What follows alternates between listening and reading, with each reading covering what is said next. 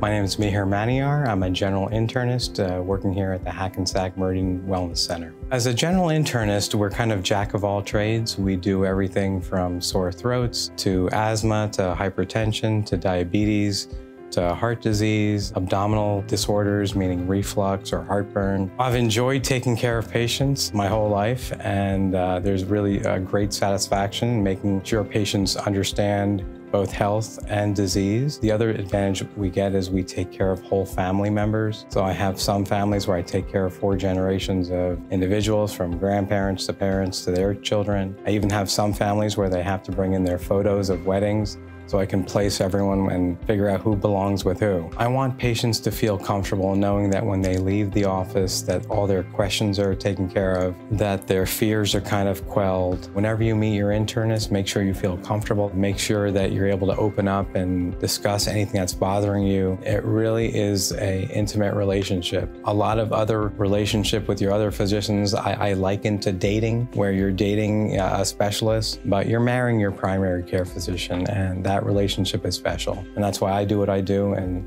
for patients, they should seek that in their primary care physician as well.